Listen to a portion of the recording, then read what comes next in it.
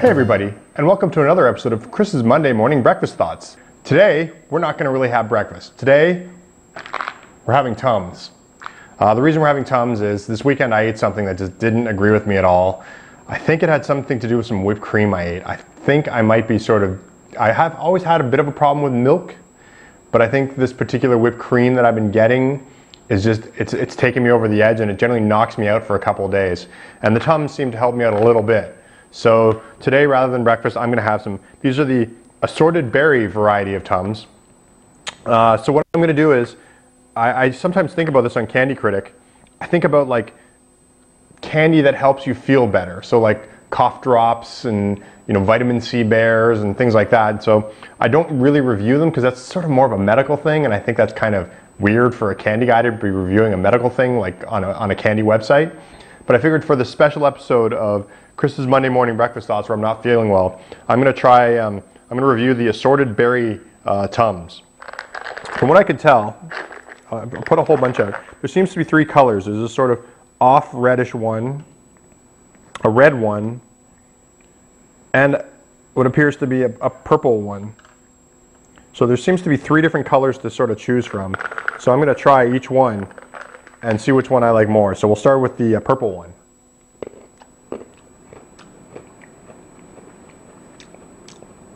It doesn't really have a particular flavor of like a, a particular like berry or anything, but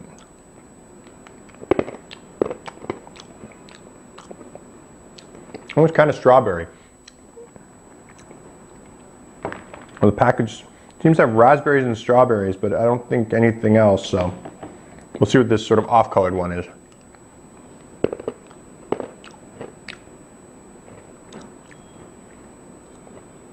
Hmm. If I was to, to, be a gambling man, I would say the purple is great. Sort of reddish ones, the more red ones are strawberry, and the sort of off-colored one is a raspberry. But they're pretty close, and it's pretty hard to tell. But frankly, with the way my stomach is feeling, I don't really care about it, you know, working, about it tasting particularly good. I mean, they taste fine. I don't really care about the, it would be neat if they had better flavors, I guess. I mean, we could argue that maybe Tums should put a little more stronger flavor so that way they're fun to eat, but at this point, I'm just hoping for the, uh, the, the, remedy of this whole thing. So uh, the other thing I want to talk about that's happening here is uh, we were planning a trip to Singapore in the near future. And I've never been to Singapore except the airport. I've been in the airport a couple times.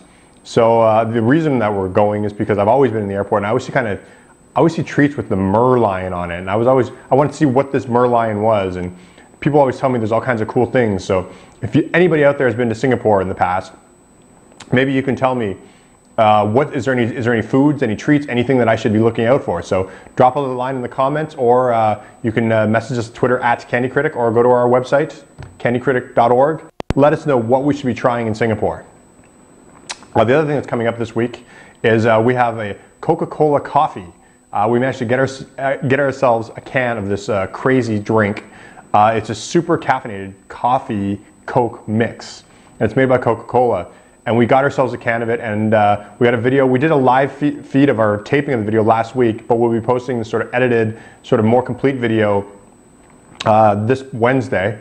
And uh, what i do is i drink the entire can of cola really really quick and then i uh, try and sit down for 10 minutes without the energy going without going crazy with uh, all kinds of like extra energy and caffeine. So check that out uh, That'll be coming out on Wednesday uh, for Patreon people. You'll get that a little bit sooner. So if you're uh, go to patreon.com slash candycritic, sign up there, and you'll get to see the video probably tomorrow.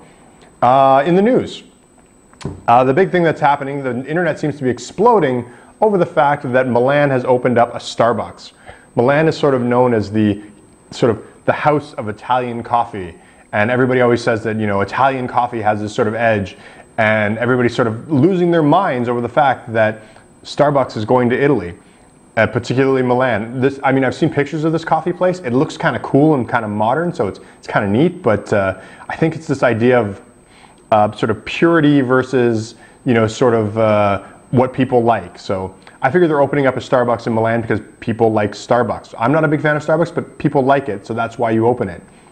But uh, people, the internet's losing its mind over this Milan coffee shop. So, you know, I don't know. I have no opinions on it. I don't really like Starbucks. I don't really like carb coffee that much. So I don't really care. But uh, let me know what you think. Do you think uh, Starbucks in Milan is that is that blasphemy? You know, is that gonna is, that, is it or is it you know is it fine? Is it something that they should be able to do? The other thing I'm noticing a lot lately, we've got a few articles coming up, and we posted a few articles about carnival food.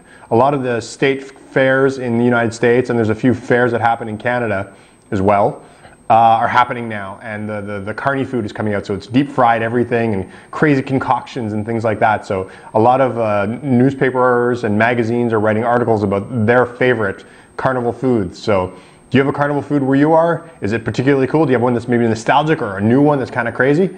Of course, always let us know.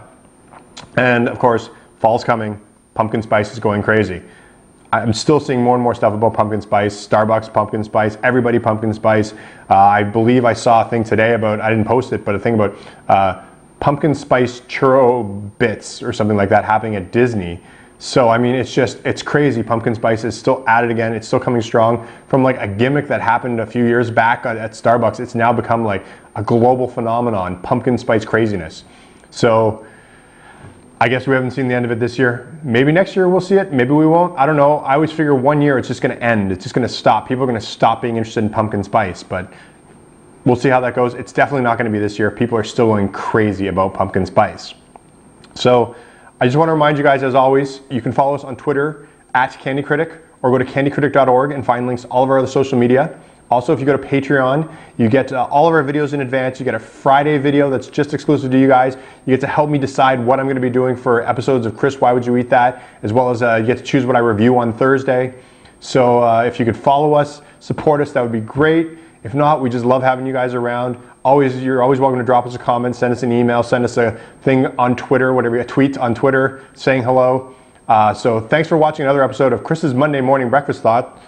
Hopefully, I'll be feel, feeling better next week. I won't be eating Tums. Uh, we'll see you next time. Thanks for watching. Bye.